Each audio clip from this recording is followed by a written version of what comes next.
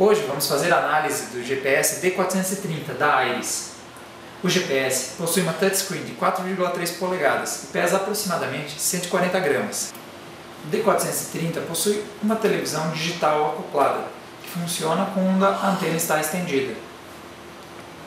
A navegação pode ser feita em três dimensões, exibindo relevo ou construções próximas.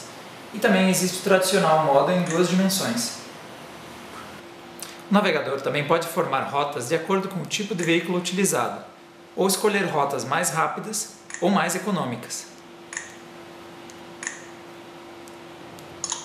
O D430 possui mais de um milhão de pontos cadastrados, como postos de gasolina, restaurantes e bares.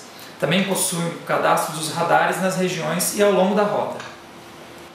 O D430 também agrega conteúdos do Guia da Semana, com a programação de diversos estabelecimentos.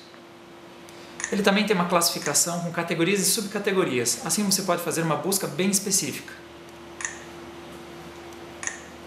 O D430 possui atualizações semanais gratuitas e custa em média 799 reais.